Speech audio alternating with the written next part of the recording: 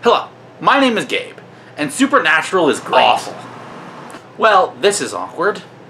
I was talking to a friend about Supernatural, and it seems I was so torn between whether I loved or hated the show that I literally split into two. I think the only way to fix this is to talk about it until I get my thoughts straight. I should confess, I never actually watched the final season of the show. Which I think is telling enough of our opinion. We hated the show so much we never even bothered to finish watching it. Also, if you care, there will be some spoilers to Supernatural. I disagree, but to get to the point, let's talk about the premise of the show. The show is about the Winchester brothers who travel around America fighting monsters. And some complicated plot stuff happens. Let's talk about characters. The show has a huge cast of characters with a variety of personality traits and complicated or not motivations for why they do what they do. It's always exciting when this cast shows up. Until the show decides to unceremoniously and ruthlessly kill them all off. It's almost impossible to convey how bad this show is at keeping its recurring characters alive. While the Winchesters get to come back to life once a year, I have a rule about killing off characters. It's okay to do it, but if I can count on it happening, it loses shock value. Early on, the Winchester's father died. I was genuinely upset and shocked by it. Later on, oh, the, their friend Charlie, who they met a few seasons ago, one or two seasons ago, died.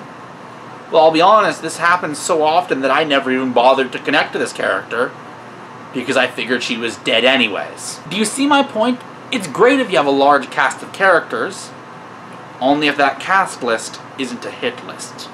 Because after the seventh dead character, I stopped trying to care. Now let's talk about the plot. And don't worry, this will be quick, because after the fourth season, which is the original intended end of the series, it's the same every year. And it goes like this. A Winchester is revived from the dead. They go and meet their brother, who they are in some way shocked by their behavior in the time they've been dead. They go in their Impala and, hype, and hunt some monsters. They find out about the big bad and whatever the thing they're fighting this year is. They get into a fight for no good reason. They make up. They go and fight the big bad, and the other brother dies. And it repeats like this every single year.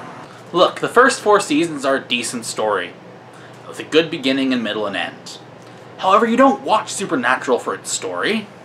You watch it for surprisingly fun and ridiculous concepts. You won't see anywhere else. Every year they have one ridiculous, meta, silly episode. From crossing over to our world, to dealing with imaginary friends, and even crossing over with Scooby Doo, of all things. And even when it isn't absolutely off the walls ridiculous, the standalone episodes can be fun in of themselves.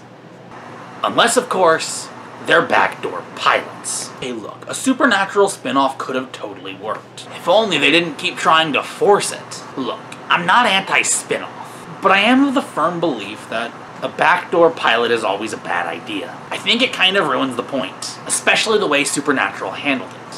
When, when it comes to a spin-off, people either want to see familiar characters in a new situation, or new characters in the same world with the same rules.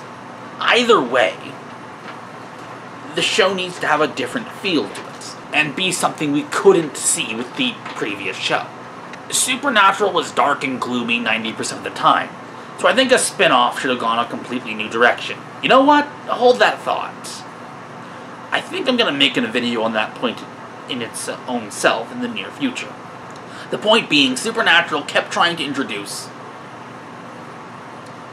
new characters in a world that works completely different than we're used to in episodes of Supernatural, and it was annoying and wasted everybody's time.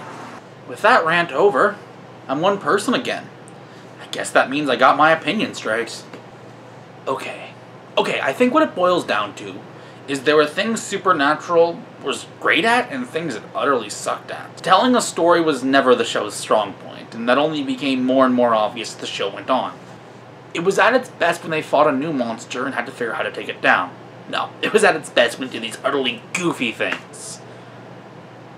But when they tried to connect everything and have an ongoing story, it just became completely and utterly boring. That's it for this time. If you liked this video, leave it a like. If you want to see more like it, do subscribe. But more important than any of that, have a good night.